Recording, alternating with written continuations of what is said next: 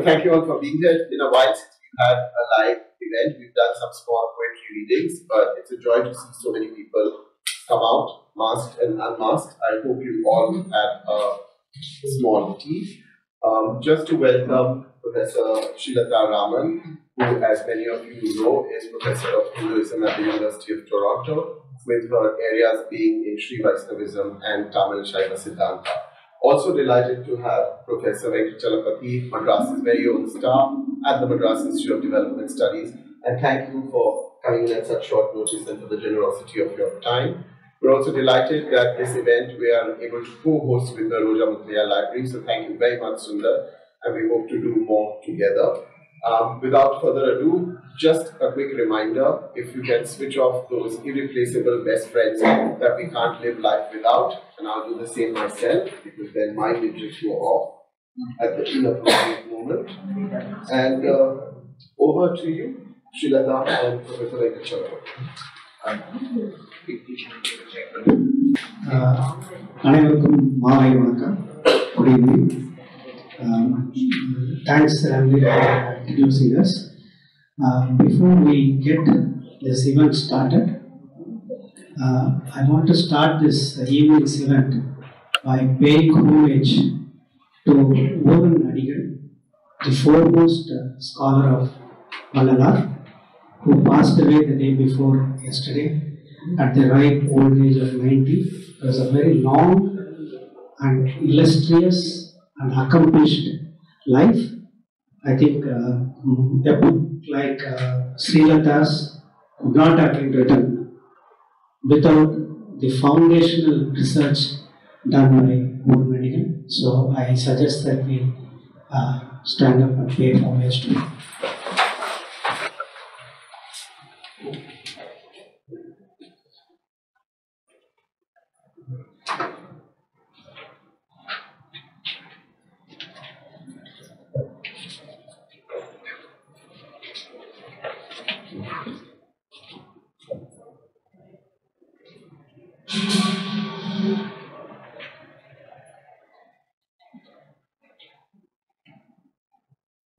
Thank you. This is uh, quite a crowd for a rather uh, serious book, but uh, it is pity because uh, Vallala was probably one of the most genuinely popular cultural figures, was and is one of the most genuinely popular cultural figures in uh, Tamil Nadu. Yes, some of his songs and poems are sung, being sung to this day. Without many of us even knowing that just for others just permeated our language. Uh, I, Subramania Bharati actually called him தமிழகத்தில் புதிய விழிப்பில் முன்னோடி He gave this status only to two people. One was Vallalar. Vallalar's was an extraordinary life, as many of you know. He lived between 1823 and 1874. Uh, in a life of 51 years, he built institutions, he brought a new message, he made, a, he made an impact on the social, cultural, and religious life of Tamil Nadu, especially in the northern part. And most importantly, what uh, calls Ramalinga Redux. In the 19th, the 20th century, he becomes a very key figure in modern Tamil cultural life. From being a poet in a religious tradition, he becomes a figure in modern cultural life with a emancipatory and egalitarian message. Uh, so, uh, Vallalar has, right from his, from his own times, even though he lived only a brief 51 years, even in his own lifetime, for a man who rarely indulged in controversies himself, he became a controversial figure That is one big chapter in Srilata's uh, book. But subsequently was he was picked up by various streams within Tamil cultural life, and to this day he remains an important figure.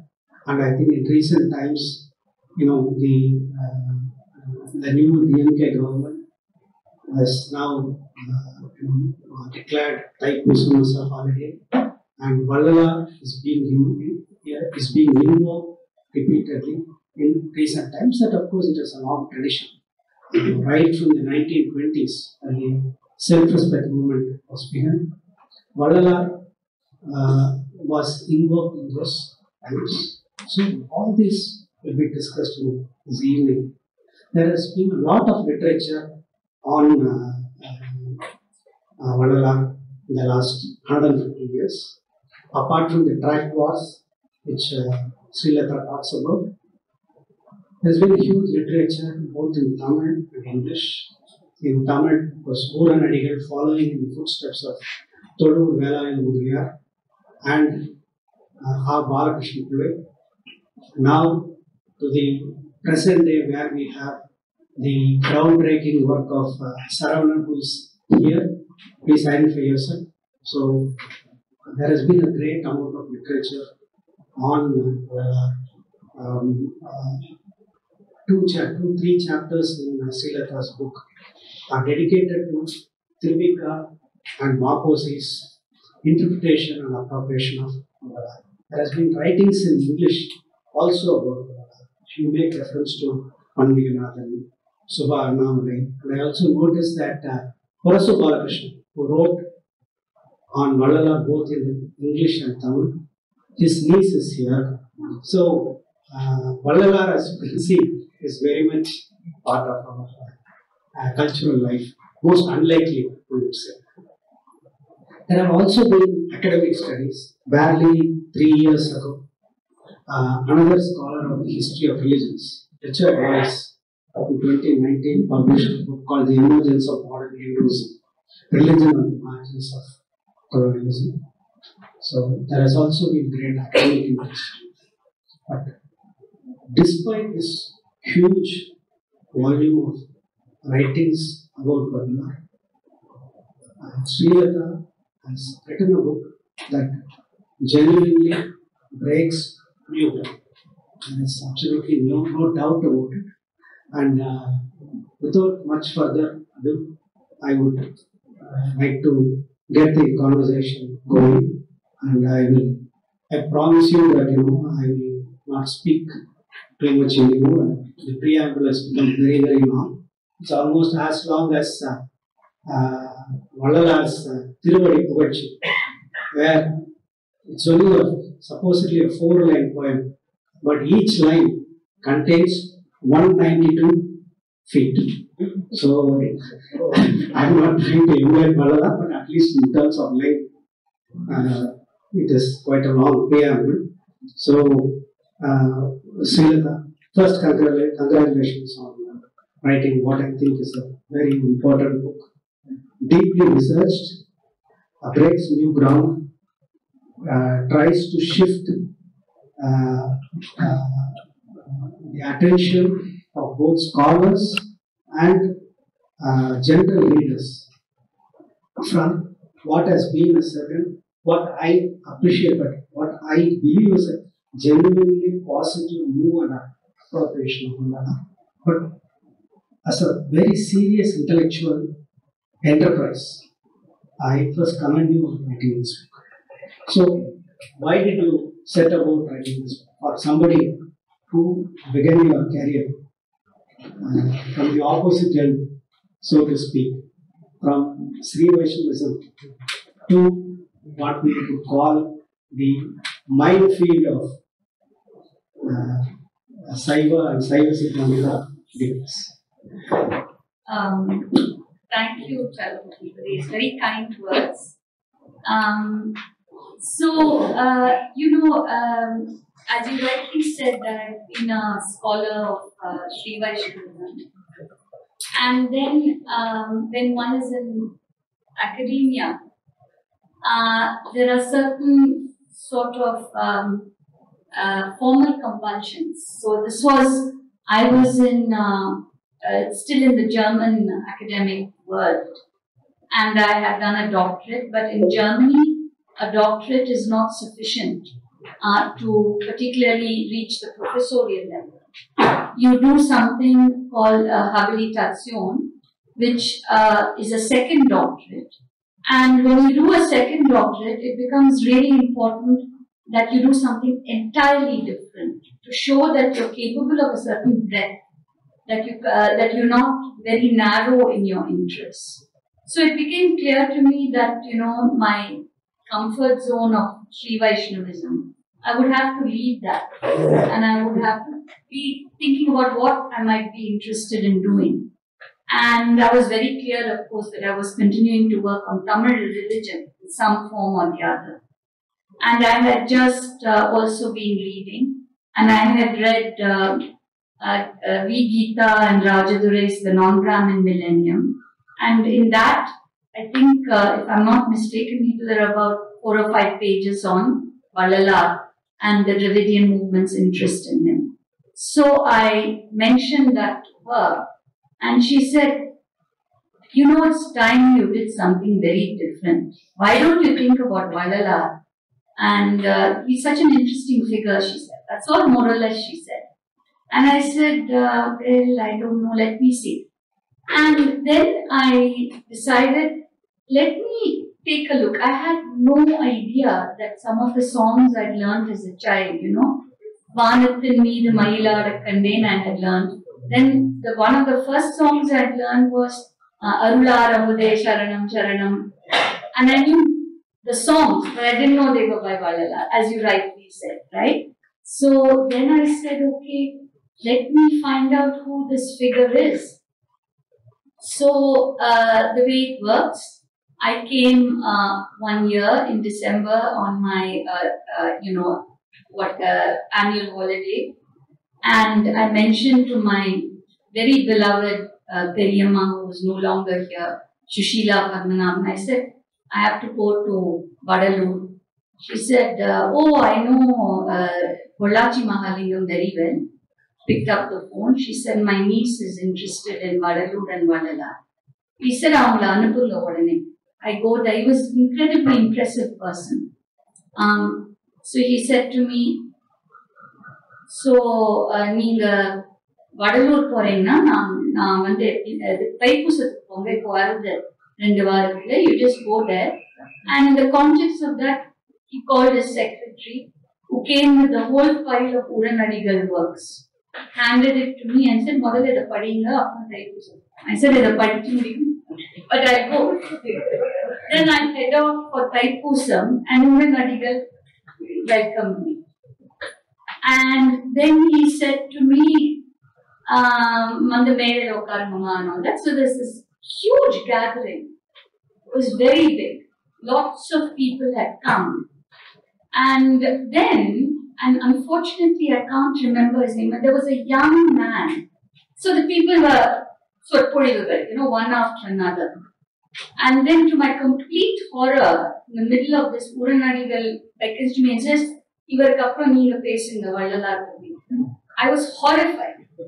So, I'm sitting there on the end of face of the NSO, I'm sort of trying to cook up something in my head.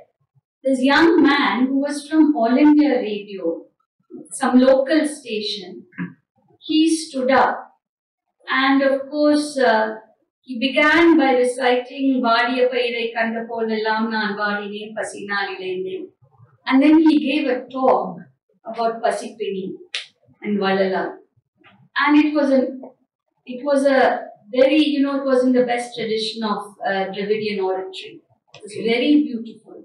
But even more impressive was the, you know, they were, it was a huge, people were sitting on the ground, it was a huge tent, Shamiana. And the look on the faces of these, you know, very, seemed to me, look, simple people of complete, um, you know, love and reverence. And uh, anyway, after that, I grabbed something, but that was not the point. For me, seeing that, I said, why do I not know about this figure? And he has this profound impact. And this whole thing of Pasipini and all of this. And I said, and that was the moment when I said, yes, I'll have to work on Vallala. That's how the story begins, my story. So it kind of reminds me of you know how Vallala himself began his public life. He has to take the message that his brother was supposed to give the evening lecture. He is unwell, so he cannot speak, but he goes there and ends up giving the lecture. So this happens in what is what was the Margaret library for a very long time. In Mannadi, Margaret library, that is that used to be in Somuchetti area. Yes. That's where Vallala is supposed to as Ah, first. yes. So, in a sense, it's also Vallala Margaret, right? So, so now tell me, how did you go about doing this? Because there's a, uh, what could we say? There is a vast literature on by Vallala himself. Ah. So Vallala was, you know, lucky in that not only that he wrote a lot, despite his own disinclination, Yes. in his own lifetime, his work was published, Yes. and it was carried forward by scholars. Yes. by somebody like Balakrishna Pillai. It didn't work from within the academic No. uh, frame. So you have this huge literature and also the underground. Yes. So can you tell us about how you began engaging with this literature Yes. and uh, how did you negotiate this literature and how did you get into your particular kind of document that you made? So, of course, I first read the Tirumurai. ஆமா Thiruvarutpa book one book two book three படிச்சுட்டே போயிருந்தேன் and it was clear that uh, you know uh, as uh, one of the most perceptive writers on Vallala, Raj Gautaman writes, you have the Shiva Bhaktan, Bhaktar in the first five uh, volumes. And of course, you see all the huge influence of, uh, um, you know, starting with Tirugnana Sambandar, right up to Manika and he pays homage to them. And uh, the poetry is extraordinary. Um, but it also comes in a lineage of extraordinary poetry. I mean, if you take Tayumanavar and then you take Vallalar, it's all there. And then, um, you know, then I started uh, then you come to the Aruthiran Jodhiyagaval, which is a whole different kind of work. But then I read all the poetry, I read uh, the prose writings. Um, and so I was very immersed in all of this. But I kept feeling that somehow I was not understanding it. I felt, and I read the secondary literature. I read uh, uh, Uran Adigal, who actually, uh, as I mentioned in the book, you know, Tamil Nadu has grown up sort of basically one saint per street. And the 19th century they proliferated, but not everybody becomes a Vallala. And the reason for that is not just Vallala, that Vallala wrote so much, but that he was very fortunate in he had very erudite uh, disciple like Tolugur Velayadamudariyar. He had, uh, then he had the great uh, Balakrishna Pillai who compiled the first thing, and then finally he had Uran Adigal, who, so, you know, uh, it's, it's, uh, it's the way, um, you know, a dialect is a, is a language uh, with an army. Uh, Vallalar was blessed in having people who uh, had the competence and the intelligence to understand him and to do great service. But- Uh, these are times when people take offense at the drop of a hat. I did find that particular comment that you uh, I make this uh, Yes, tell me. that Yeah, uh, Malala because he had an army of publishers and editors and yes, others. yes, And let me read it out. yes. I hope others will also be sufficiently offended. These are the countless almost harmonious, just like a language is a dialect with an army. The same who makes it into a lasting public memory is a person with more than one hagiography, a compiler, an editor, and perhaps an institution or two that continues to exist after her of you. But your difference is there in the very next line. Uh, Ramalingar had all this, and it served him well posthumously. But what produced even more than poetic compositions, splendid and lyrical as some of them are. So probably you would be condoned by people take offense. But here I do want to ask you something. It is this task of, you know, so assume it's a laborious, yes. painstaking work. Yes. You have taken 10 years to write this book. Ooradigal right? 20, 30, 40 yes. years to do this. So, if what influenced them was not fundings, no, right? After, uh, national uh, no. humanities grants or anything. So, something within Vallala Yes. that makes makes them persevere, Yes. work hard. So, can you say something more about Yes. the intrinsic Yes. Yes. value? No, but exactly. So, I, I mean, you have all this extraordinary scholarship. And uh, I read as much of it as I could. Um, but, uh, and, but, you know, what uh, grasps everybody's, you know, where they sort of uh, become Vallalarites in a profound way is because of Jiva Karunya. There is no doubt. And uh, they recognize this as something extraordinary in his uh, writing. Now, when I when I read Vallalar and I ruminated on this, I still felt that I was not um, understanding that something was eluding me. Uh, I, I I wrote an article, I think it was 2014 uh, or maybe 17, I forget the date, 15, 17, I forget, on how Jiva Karunyam and Vallalar, we can understand it right from Mani Meghalai, we can understand it from the Tirukural, uh, we can understand it in many ways. And I felt this was, uh, I was trying to do that. But in spite of that, and that's why the book took so long, I still felt no, there's something I'm not getting. And until I get there, I can't write this, bring this book to fruition. And at that point, for some reason, uh, I think uh, again the gentleman is sitting here, M. Kannan. So Kannan is somebody who always, you know, tries to provoke me or tell me, you know, give me some what I sometimes think this is not relevant, it's not interesting information. And he gave me uh, uh, an article written in some fairly obscure journal which has gone out of print of Rangaya which was on these Dalit uh, figures dotting the Tamil landscape. So I read that and then I thought, so in some way, I have to understand Vallalar as a figure who is being informed uh, uh, in his religiosity uh, by actually, uh, you know, pre-modern Shaiva traditions. And it is not enough to only understand them as, you know, okay, he's men- mentioning Pati Pashupasam idella, but it's not enough to leave it at that. I have to really understand his intellectual genealogy in some fundamental way. So that's when I said, how can I do this? I said the clues might lie in why is he, what works was he interested in.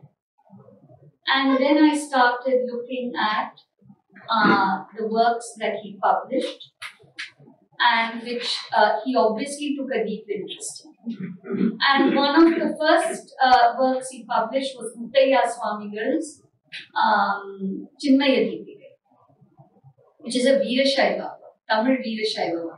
Now, what is, I think, very much less known is the contribution since the 17th century of Tamil Veerashaiva literature to the great stream of Tamil Shaivas.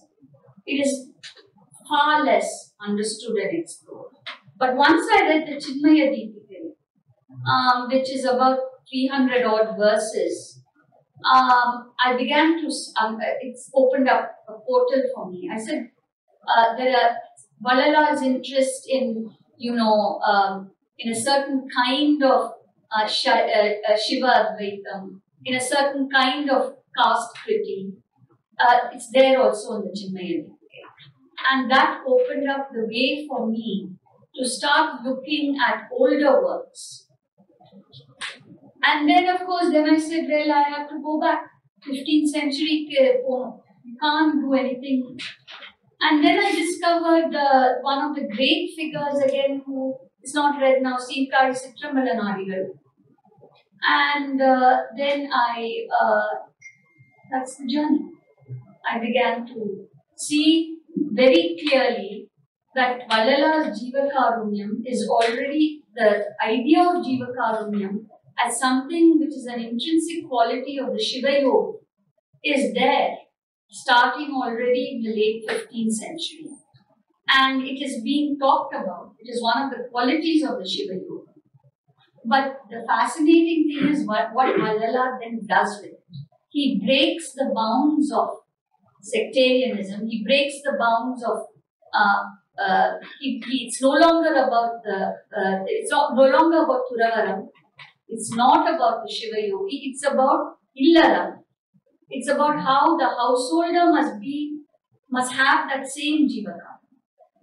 So that becomes the. Uh, uh, I'm glad that you you, uh, you you spoke at length about this, but I want to push you a little further. Because for uh, people of my generation, probably an earlier generation as well, Vandana was for us mediated by Tiruvika, Maposi, and the Dravidian movement.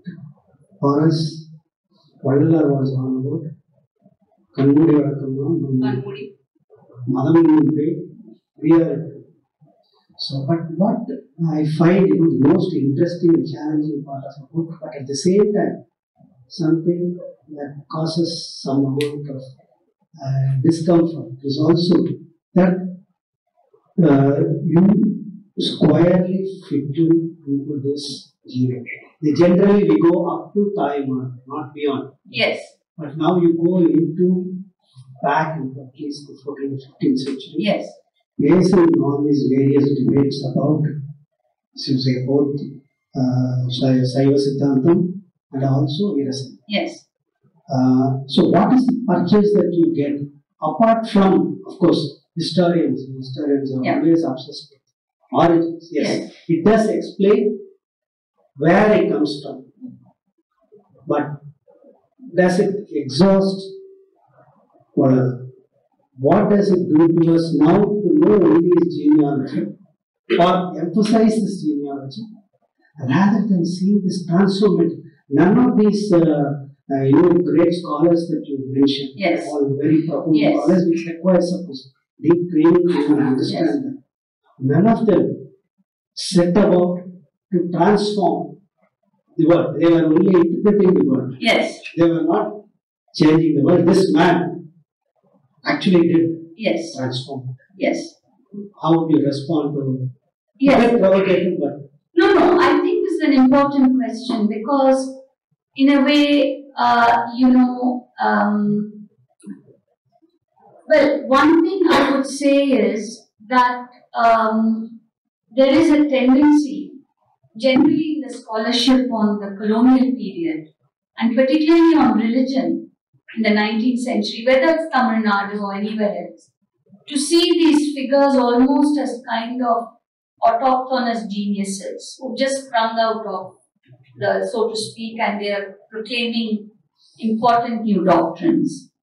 Um, I have come to the conclusion, we can argue about this, Chalpati, that particularly the figures of the first half of the 19th century, whether it's Ram Mohan and whether it's Vallala, taking the bigger picture, that these are still people who are steeped in traditional education.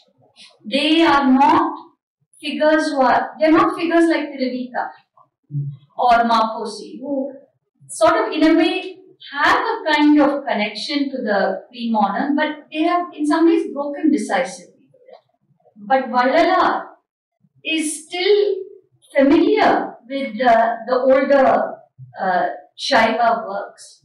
So it seems to me that uh, you cannot do full justice just as an intellectual historian of uh, the uh, intellectual historian of ideas or whatever without doing that. So that's from an academic point of view.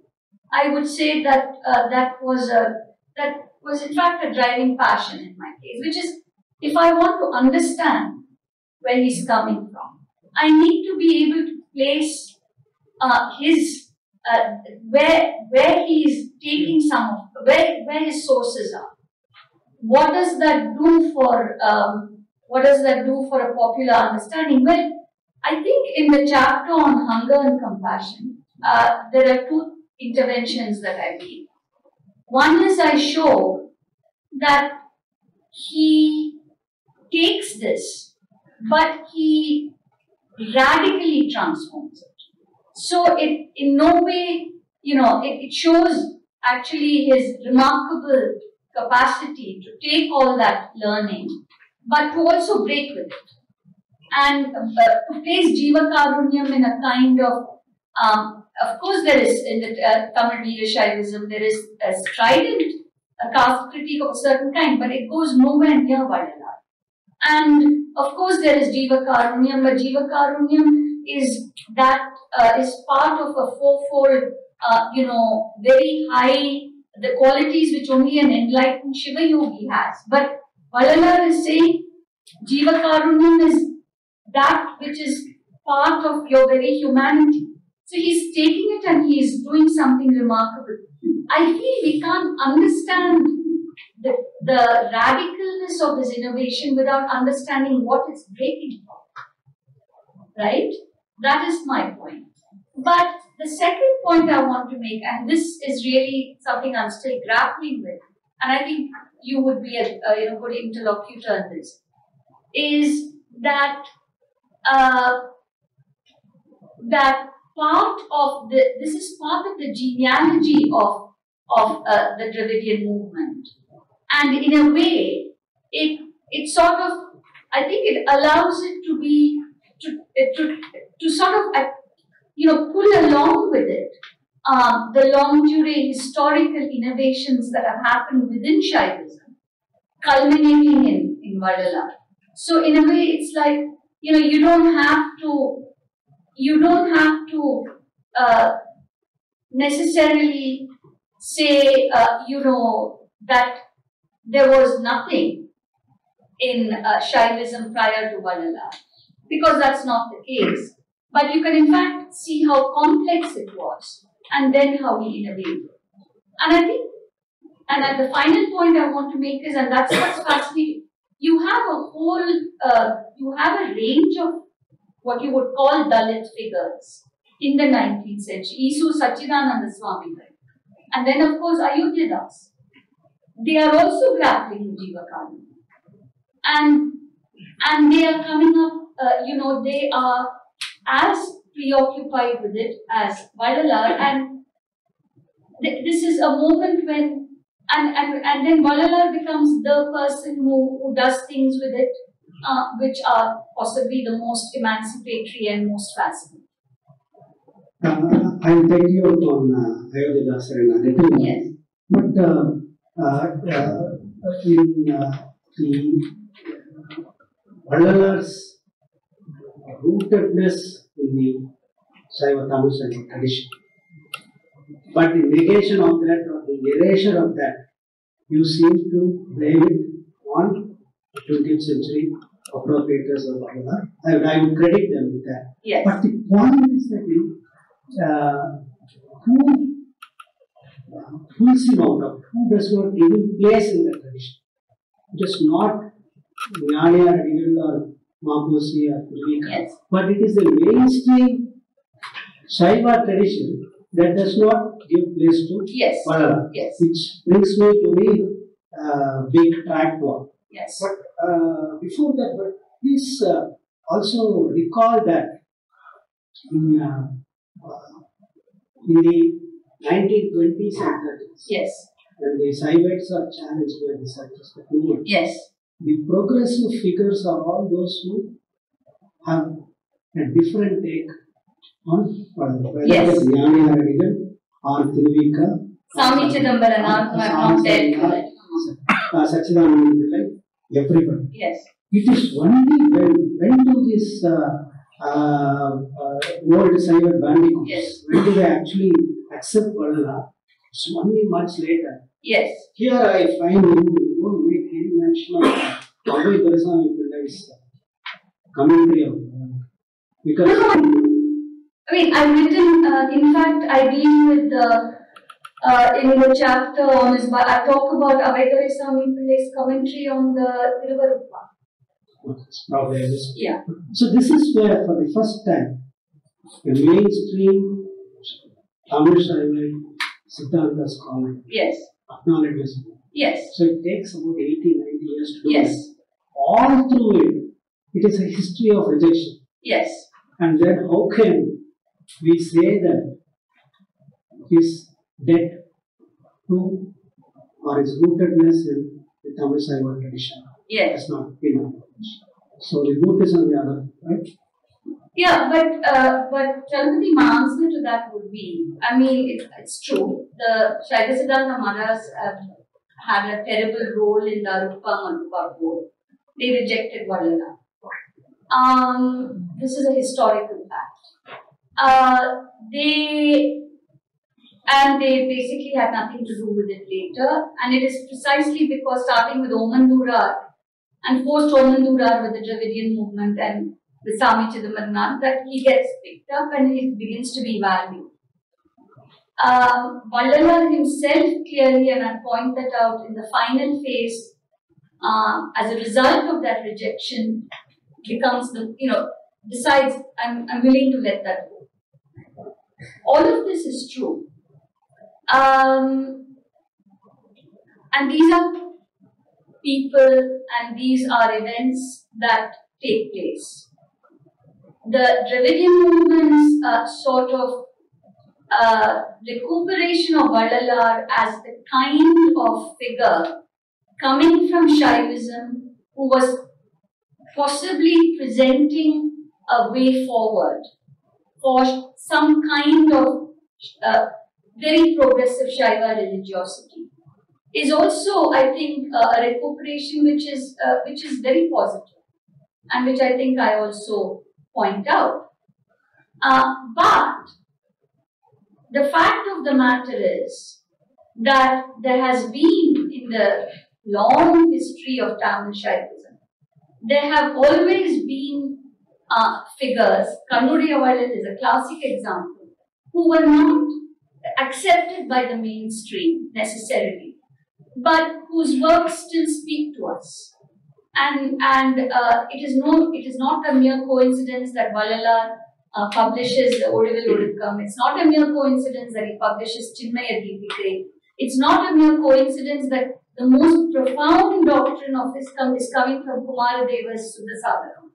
So, uh, the fact of the matter is that in, I think it behoves uh, those who care about the long durée of Tamil literature to also recoup these works and to, to appreciate them in their own right, leaving aside Madhadipadis, leaving aside uh, uh, what they did to Vallala. Uh, because if we don't do that, uh, we fall into the trap of actually not understanding the Tamil literary past and in, in its fullness and its richness and complexity. We, we, we, just be content with looking at Sangha Tirukural and Kambaramayana. But that is not enough. Tamil literature, I mean, has treasures like Sirkari Sitrabalanari that nobody necessarily looks at now. It has treasures like Adivira Ramapadian's uh, Tirukaligai Kaliturai Andadi, which is a beautiful poem. Now, I feel passionately about this because I read this and I, I see the greatness. Of course, I see the greatness of Tirukural, but this is also in its own way Uh, extraordinary. this point is, uh, was well taken. That, Yes. uh, uh, our uh, emphasis on Sangam literature. And as a counterpoint to it, the emphasis on Kambaraman. Yes. This point is well taken, and of course, uh, intellectual uh, explorations should be diversified and continue. So I just want to push you into what you call not only the hagiography but the anti-hagiography, Yes. which is the next point. So uh, I find that your chapter, based on, of course, the stellar work that Saravanan has done Yes. by unearthing all these texts, you take it further. So, uh, how, how do you position yourself in the existing literature of the alpha uh, uh, Because this is where you squarely take up the question of caste. Yes. The rejection by the various Saiva Adinams uh, of Mandala is not because of some faulty uh, hermeneutics or faulty intellectual quotients or faulty heretic uh, philosophical. It squarely boils down to his caste Yes. position. Yes. So, just something that you have to talk about. Can you say something Yes. more? So about- of course, under Vallalar comes, uh, as we all know, from the Karunigar, and though they, uh, the Karunigar thing, they're already writing 19th century, they're writing the Karunigar Puranam, and they're claiming uh, an illustrious lineage, like a lot of uh, groups in this period. Uh, Vallalar, of course, is uh, uh, you know, um, it's a combination because he comes from none of the, as as I think uh, uh, uh, Sri Sharavanan's, uh, work also shows, he doesn't come from any of the Pillaimar groupings which will actually can be Maharaj and stuff.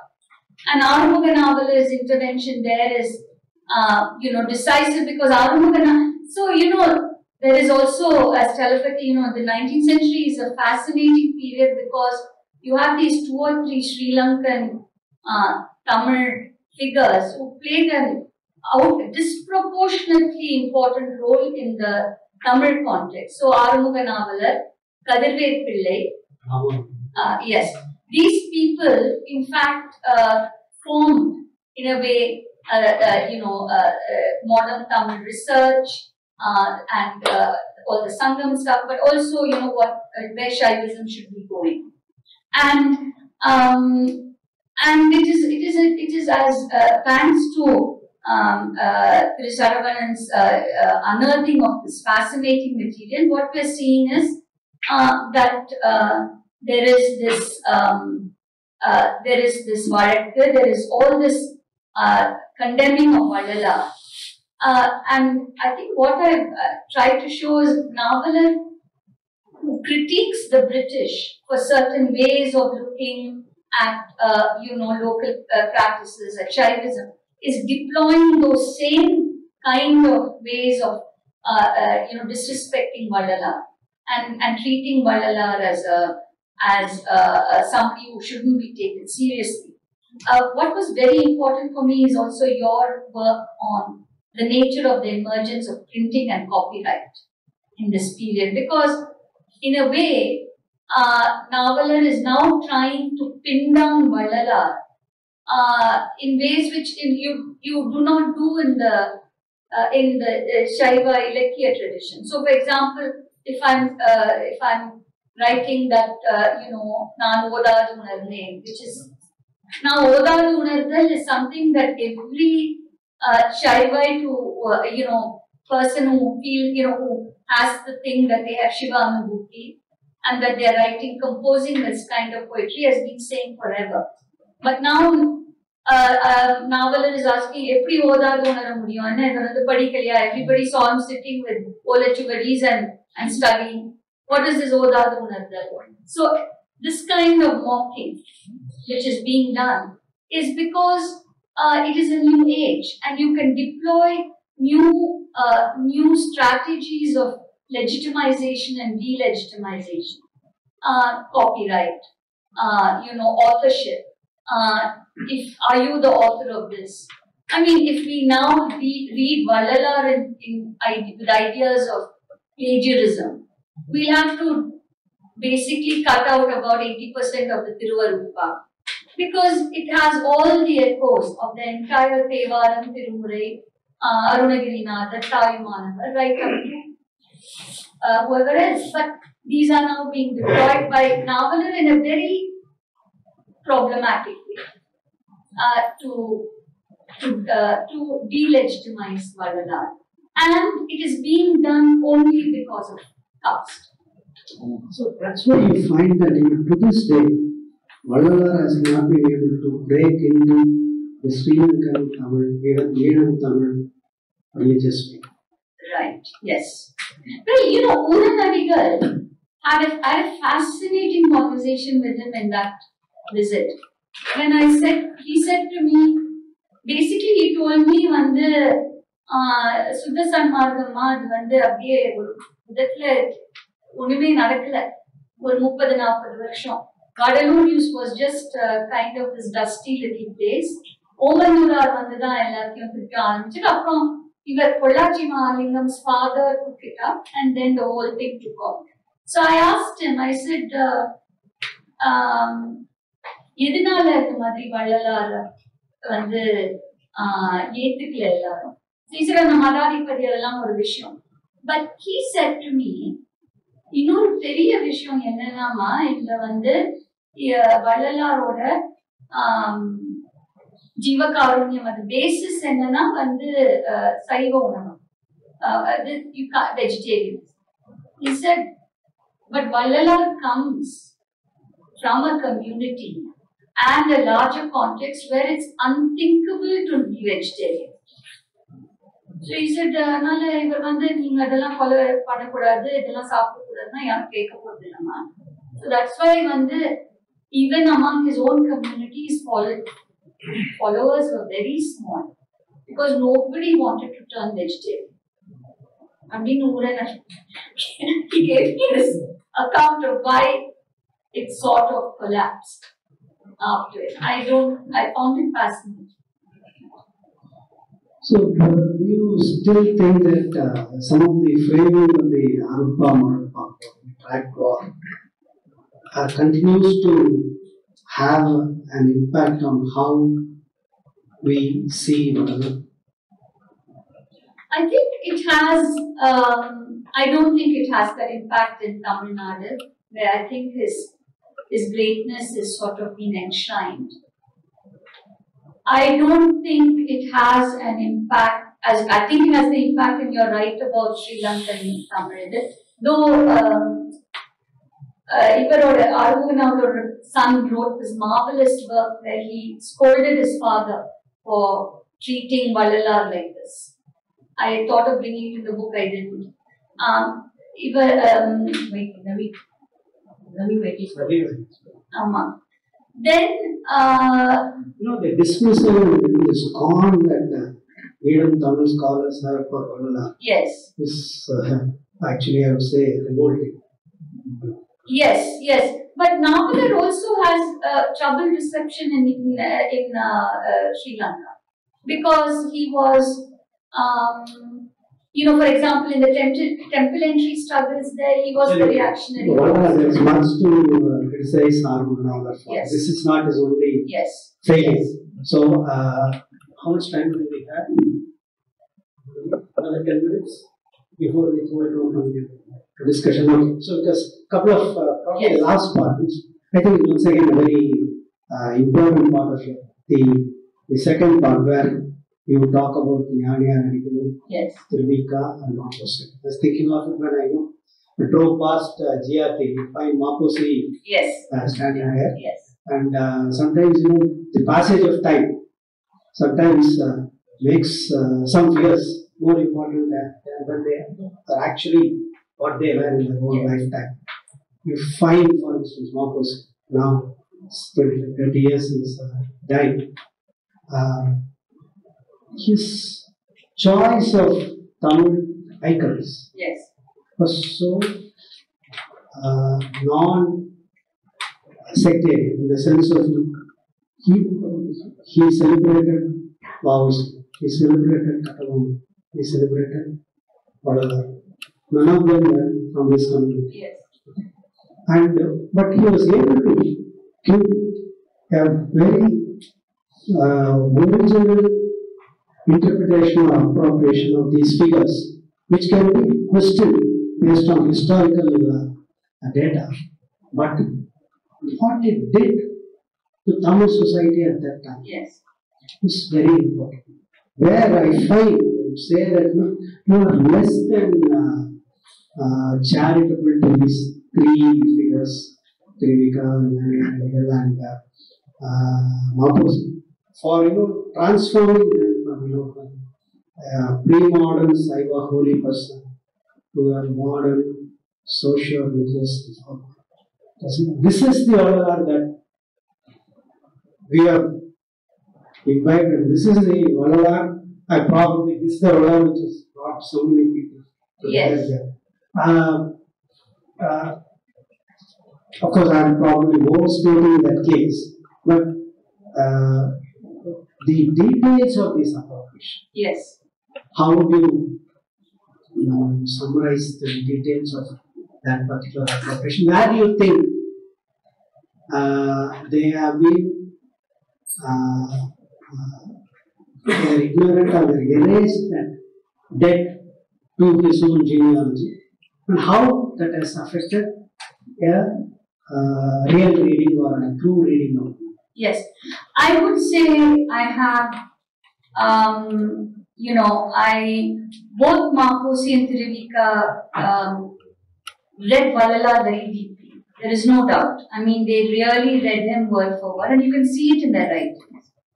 And but of course, they are also, uh, and they are very reverential. They are willing to take, uh, you know, his, and they are particularly uh, dealing with two very crucial factors in Vallala's life, which present problems for a kind of modern rationality. One is his disappearance, and second is all the miracles, and um, uh, particularly relating to the transformation of the body into this, uh, you know, the pure body, the body which vanishes, becomes immaterial, and that's how Vallala vanishes. They are not willing abandon that. They are not willing to say, uh, in the, Pakavanna let us only concentrate on the one, the person who uh, appeals to the rational. But what does Maposi do? Uh, uh, what does Tiruvika do? He, goes to Oliver Lodge and he goes to ether theory and he picks up on that and he says, you know, modern science is endorsing that you can dematerialize and vanish. Uh, Maposi uh, says, uh, uh, why not? இதெல்லாம் நடக்கலாம் and then you know actually Gandhi article is well that's a kind of a weird move that ஆமா அவதாரம் இதெல்லாம் but uh, they do all of that but they uh, and they read Valalar I think with great sympathy uh, they but you know they they have what is lost by not uh, what is knowing the injustice that is yeah uh, what is what is lost is uh, that you know um, is that that you you don't fully understand Vallala. I mean, at the end of the uh, the, the thing, I would say uh, uh, I would say telepathy that But as you say, there are, uh, I know saints like uh, in every street. yes, So this man is unique. Yes, but for that very reason, you see, I think we we need to do justice to, to his whole complexity. And by doing that, uh, you are you are getting the, the bigger, the the very rich and complex picture, uh, which is only possible if you do that. How can we, you know, how can we understand uh, say Iyothee Thass and Jiva Karunyam and Iyothee Thass without understanding how both he and Vallalar are coming at it from very interesting directions. And that Iyothee Thass is not getting it from nowhere. So uh, that brings me to the last uh, part of the conversation. So we, uh, you you invoke the name of uh, Kailadas Pandita and Yes. also the uh, blur Yes. uh, invokes his name. Yes. Uh, and to say that you know first uh, uh, you know Routledge books uh, usually cost a bomb almost impossible to afford. But luckily, I think you found the money for uh, Open open access, so the book is can be downloaded. So please do read this book by downloading this. Uh, I think you know. Uh, I'm sorry to say this. Routledge has not given uh, the kind of uh, uh, attention that of this uh, level of scholarship deserves. I will say that. So the uh, uh, very interesting line it says, this book is a path-breaking study, that's right, that also traces the common grounds between the religious missions of two of the most prominent subaltern figures of Tamil modernity, Iyothee Thass and Ramalingar. Once again, the sequence is a book about Ramalingar, about a person, but for some reason, Yeah, Iyothee Thass that the, yes. Okay. I hope it helps to you know get this book reach a wider audience. But uh, so I was very tempted uh, to uh, find uh, the uh, the relationship between Yes. the two and I read that uh, section. In a sense, it's a very that's probably the smaller part of it. It's just a section, right? Yes, Why it is just a section. while the uh, engagement of Nyaya Radical or Tiruvika or Muslims of a very different order Yes. and it has given, been given sufficient uh, Yes. uh, space in the book. So, why do you think, uh, what, what is the, uh, why do you think this is important to foreground this somewhat tenuous, like you say that Ramavira anticipates Iyothee. Yes. Iyothee, as you can see, does not mention the name of Ramavira at all. Yes. Okay. So, uh, if that is the case, why do you think this uh, tenuous relationship needs to be fore- foregrounded? What is the uh, balance of it? What is the justification for it? Yes. When uh, I point to Vigita sitting here, who again threw out to me, just she mentioned to me, uh, வந்து அயோத்தியா தாஸ் ஆதிவேதத்தில் என்னமோ ஜீவகாருண்யம்னு பேசுறாரு I want, and she said, I wonder where this come from.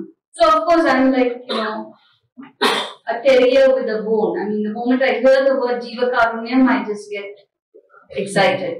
So I immediately went off and um, picked up the Adi Vedam, started reading it. And then what do I see? I see that, so before that already I've been looking at a figure like Isu Sachidananda Swami, the same uh, contem- older contemporary of, of Ramalinga, who's written a work called Jiva Karunya Vilakam Svanubhuti Vilakam. So he is, but his is a, uh, it's, it's a very long Sayul work, again about three to four hundred verses. But the word Jiva Karunyam doesn't occur in the work at all. It's only in the title. But the whole, uh, the whole uh, work is very clearly a Shivanubhuti work. And the Jiva Karunyam is, then makes total sense. It's about the arising of Jiva Karunyam once you become a Shiva yogi. But Sachidananda Swamigal is from the Kuyavar community. So you begin to, and then you begin to see that uh, why are figures like this suddenly writing about Jiva Karunyam? Then you come to Iyothee Thass and you look at his, uh, you look at the list of works he's citing in uh, and you're seeing, uh, you're seeing this range of pre-modern works. Citrambala Nadigar, you're seeing Tattuvarayar, Perundirattu Kurundirattu, you're seeing the Nigandhas. Then you see, yes, he is also looking for uh, some way of expressing a certain ethical visions, and he's going to a very similar or even the same corpus of works in some case as uh, Ram Vallalar did. Now, it may very well be, and I would almost, I wouldn't know, but uh, why would he not have read Vallalar's Jivakarunya Olukam? He may have, but he does not mention him in that list. But it seemed to me that the very fact that this uh, incredibly, um, you know, uh, fascinating figure of Iyothee Thass is also then picking up on Jiva Karunya. But then, of course, he has a whole Buddhist framework of metta and, and Maitreya and Karunya to place it in. Um, I think what I wanted to show was that, uh, you know, the mid 19th, uh, the, the mid 19th century onward, there is a moment in Tamil religious history where there is a there is a striving, just like with Ambedkar in Maharashtra, to try and, and, and create a new ethic.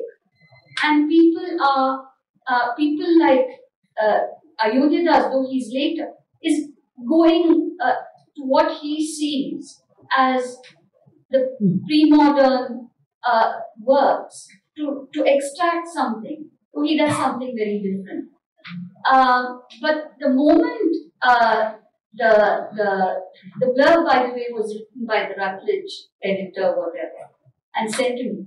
They obviously see this as a huge selling point uh, to see uh, to that that I have shown. Maybe that uh, any direct connection is non-existent, and I say that.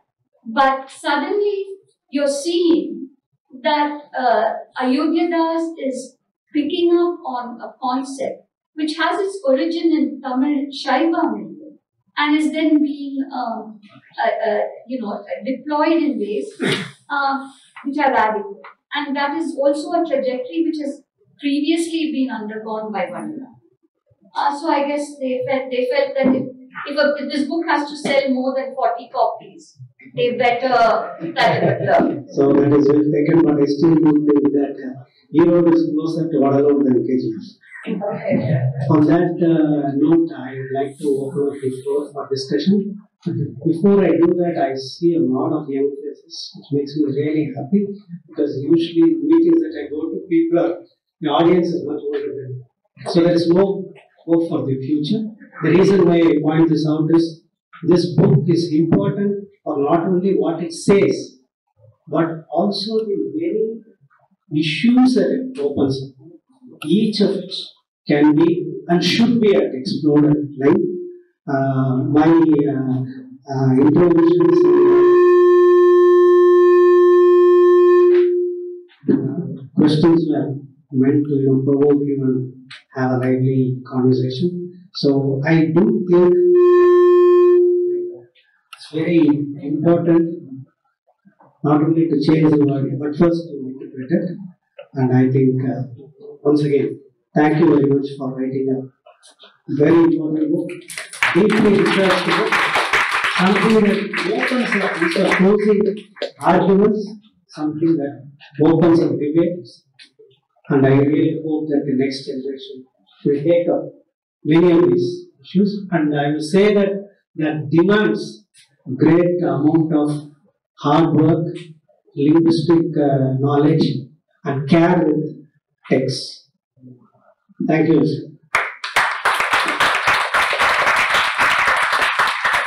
I, I just want to add that not only is the work of people like uh, V. Geeta, uh, Saravanan, Pa but also others I've mentioned, particularly I want to mention the work of Ira Rajashekaran, uh, who wrote, who's written this multi-volume study of uh, uh, Shaiva Siddhanta institutions. Now, it's only uh, in Tamil, of course, and it's not well known outside, uh, you know, it's not well known uh, among Western academics. But um, the, these are, you know, the importance of scholars like this in the Tamil sphere who are writing these really, really important works, but which don't uh, get an audience outside. And I could not have written this book with, uh, except through the tremendous amount of groundwork and collation that some of these figures have done. I've tried to point that out in the book, um, and I hope that uh, in some way, some small way, gives them the due that they richly deserve. I wanted to say that. So as I wait for uh, to frame uh, frame the questions, just want to add that we make reference to G. Vanvegana, Ko Vanvegana. Uh, in the mid 80s, I used to meet him on a day to day basis. Uh, this is after he had finished this book and he was writing the book on Periyapurana. And also, I, at this moment, I recall uh, the English translation of Vallala songs by M.L. Thangappa. You cite his uh, Sangam poetry in the bibliography, but uh, Thangappa translated uh, Vallala and it was published by the Ashram Press in the mid 80s. The reason why I point this out is use a kind of uh, Tagorean English, in the best sense of the word, not the worst sense of the word, to uh, interpret and present Vallala as this universal figure who has a message for everybody. There is a moving uh, little book. Uh, Lovely. uh, it's called the Songs of Grace. Shall I, I pass this one No, no, you should have it so that she can respond. Thanks so much for anchoring this in the way that you did. It opened up many things of uh, Srilata's book. I just want to call attention to one detail perhaps that we may want to keep in mind is this is also the age of missionary Christianity. And I think that's a very important aspect of the larger context in which Vallala was writing. And I think this is important for the last uh, uh, set of issues that we both were discussing, especially about why did people feel like forging this new ethic. And if you go back to Uran Adigal's biography of Vallalar, um, Vallalar's case for Jiva Karunyam, which also rests on vegetarianism. He actually re-deploys the story of Simon who became Peter in a very interesting way. The whole thing about you shall be fishers of men.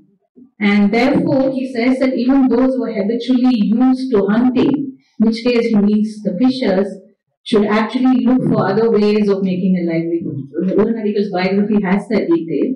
Interestingly, Iyothee who also makes a case for vegetarianism. His Jivakarunyam also includes this uh, vegetarianism. He also deploys the same story of uh, Simon and Peter. Obviously, that's the larger context because when he is redefining the Tamil Sangam universe, the five-fold division of the landscape, he talks about how neither hunting nor fishing can be entirely justified and how you can scour the seas for the many other riches that you can discover there and make a living through trade, but not by killing the fish. So I think what's interesting is the very central ethical role played by Christianity, the ethical questions that it threw up at that moment in time. And Raj Gautaman's book actually points that out in a very central way. Yes. Kanmodi Kamila Manmodi Poche, where he calls attention to the shaping power of missionary rhetoric around violence, non-violence, killing, love your neighbor as yourself, and all of that. So that's one thing. The second thing is, I think, uh, um, the, for me at least, the interesting thing about um, Iyothee Thass is, Iyothee Thass does not follow citational practices that we would think relevant today. Uh, he was a very close associate of P. Lakshmi Narasu, but does not cite him anywhere. Though a lot of the textual explanations of uh, ava or desire in the Adivedam. Obviously draw from what Narasu himself had been speaking and writing about, but nowhere is Narasu mentioned. So I think not mentioning somebody might not Yeah. preclude them knowing about these texts. Yeah. Because nowhere does he mention anyone else, but he mentions all these other source texts, which is interesting. Yes. So I think there is something that uh, he's picked up from Vallala in a fairly straightforward genealogical fashion. But we can't. we can't place it, nor can we prove it. And I think that's um, because he does not use the word Okulavu, which could have also been used instead of Jivakarunyam, which is how Maitri has been translated in other contexts. He prefers to use the word Jivakarunyam. So I think that's a very interesting kind of a thing. I think one of the mediating factors would be Christianity, which pushed both of them to write about it in very different ways. No, the other, I think, tremendously under explored uh, person in the context of Jiva Karunyam is uh, Peru Santalinga Swami. Kolaimaran. I think that uh, was, it emerges in the Kongu context. Uh, actually, Eric Steinschneider is now working on this. But Kolaimaranthil is a fascinating work which lays out the case for vegetarianism. And I'm sure both Iyothee Thass Yeah, and that also influences Nandamani Swami? Ama. Who also figures in your book, but in a Yes. only in relation to Pulavar. And but Dandapani Swamigal is again a figure I think one can spend a few years on. Absolutely. Amazing, amazing works. Is uh, Satya Vachakam uh, is a is a remarkable, remarkable work. So there are other you know, the I knew I knew that if I decided to, I could spend another thirty years, but one had to publish the book at some point. I wanted my full professorship, so I had to So, do you want to read what I have written? What next? So that was my last proposal to her. But uh, can we have more? Uh, just identify here, just your name and then. Yes. Who is going to be the mic runner? Thank you, Professor, for talking with you. So, if I have to be, um, if I have to mention an anachronistic event like Annadurai did of Vallala coming back, and if he was here, he would perhaps change his statement and say, "Kadai Virityan Kodva Peru." yes, nice. Uh, so I wanted you you spoke about how the Dravidian movement kind of engages not only with the social of Ramalingam but the hagiography and the miracles. But what about the religious and ethic of Ramalingam? So, for example, like Bular Namai, for example, is like the base. But you we see meat eating parties, for example, with the Dravida Kadam. So, how do they reconcile the ethic of Vadalar versus their uh, practice? That's the question, first question. The second question I would have is, you know, uh, in the last statement of Kodvar, and he says, I'll permeate everything, something like that. Uh, do you see it in a theological religious context? Would you see it as having uh, having an Advaitic undertone, or is it kind of a prophecy that I shall come back again, or something like that? How do we, how can we interpret that last statement of his? So, on on Dravidianism and meeting, probably Chalapati is far more qualified to say something about how they would reconcile. I think actually, from my perspective, and in the last chapter I deal with that. I think they honed in on uh, on uh, Jivakarunyam and you know taking care of uh, Pasipini as uh, and the caste thing as the pillars of uh, from which they could build a kind of progressive Shaivism.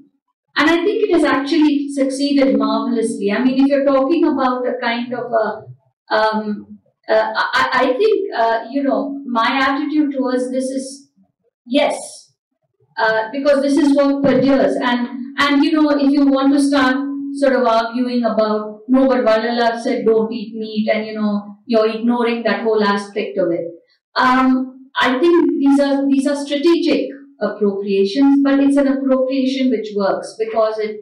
Um, so that would be one answer to that. And thank God they do that actually. I mean, thank God they don't. Uh, my attitude is even uh, this book is it's good it's come out in 2022 and not in 1876 immediately after Vallala because what is happening immediately after Vallalar is placing him in Shaiva context. Uh, uh, Kandasamy, Mudaliyar, they are all placing him in Shaiva context. Luckily, nobody reads them anymore or refuses to read them.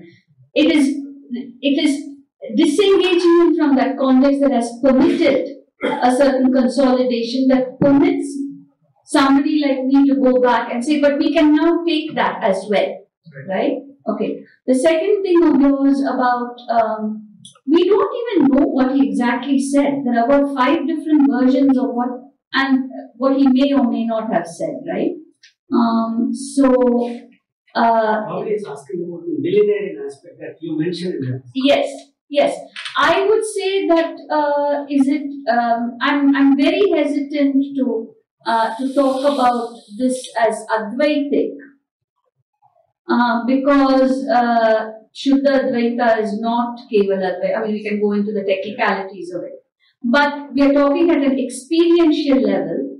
Of course, he's talking, but then, you know, he's very clear that the Arutperumjothi Andavar uh, is not him. Uh, he's, he's going to come down and, you know, rescue everybody. So, um, Yes. Thank you. you want to add anything to Just one line is that to say that Mandala has transformed many people at the personal and that includes activists of the Dravidian.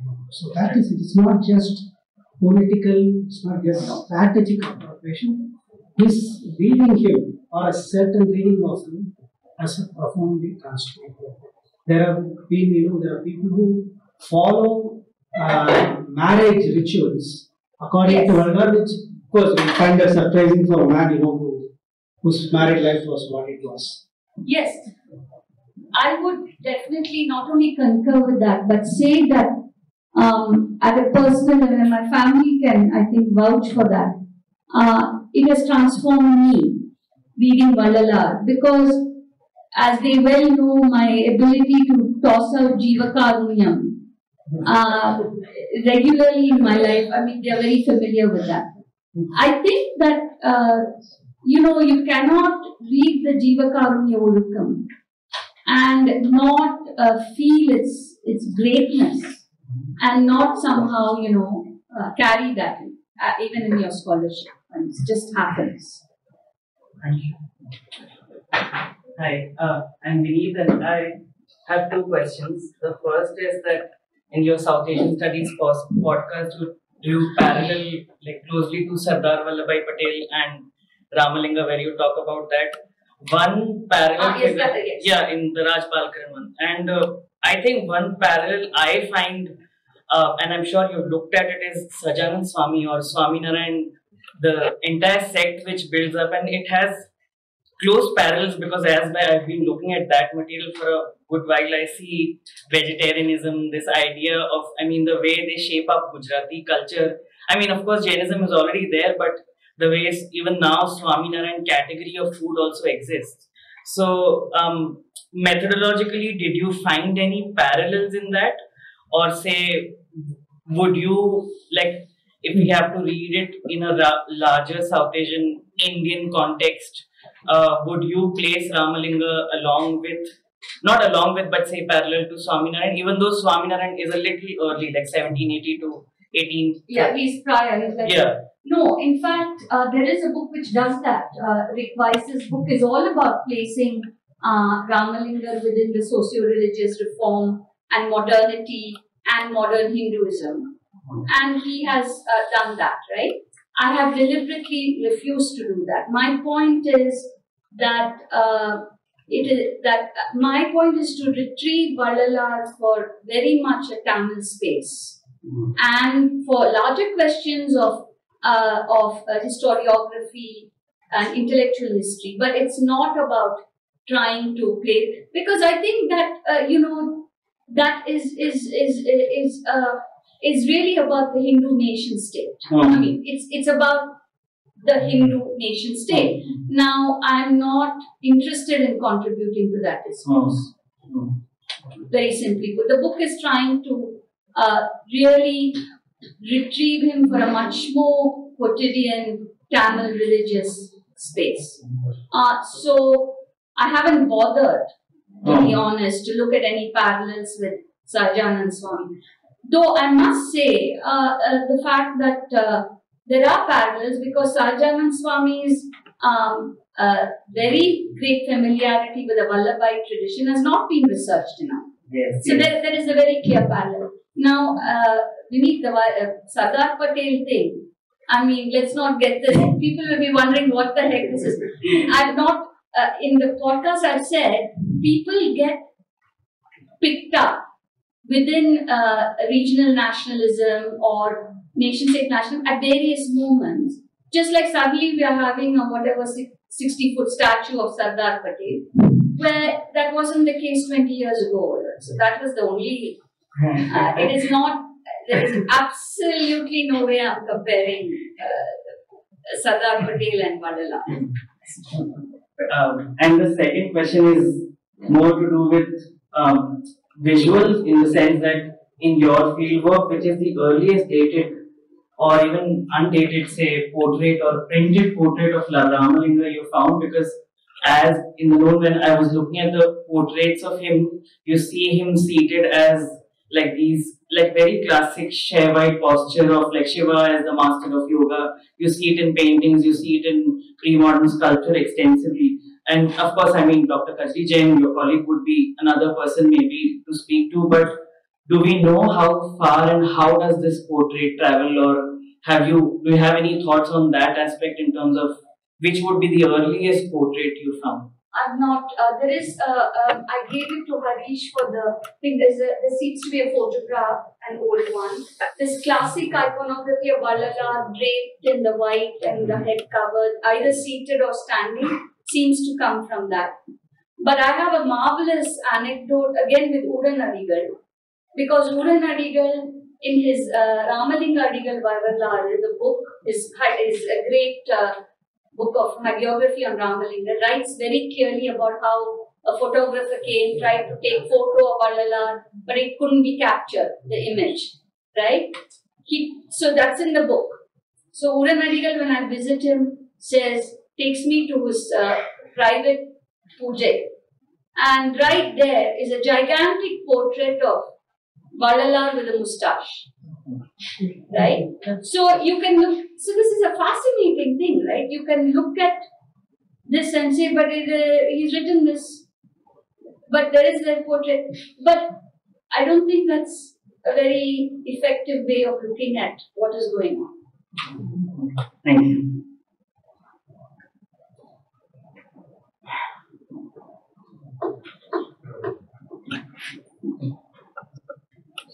Vallalar's portrait is an interesting place to start from his words. The interesting thing about Vallalar is not only that he wrote so much, all the genres that he wrote Yes. have survived. Poetry, prose, letters, commentaries, everything has survived thanks to the work of his contemporaries and subsequent scholars.